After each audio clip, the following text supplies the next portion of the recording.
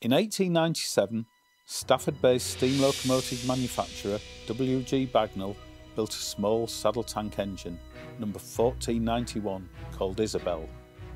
My name's Nick Beilby, and my relationship with Isabel dates back to 1972, over 51 years.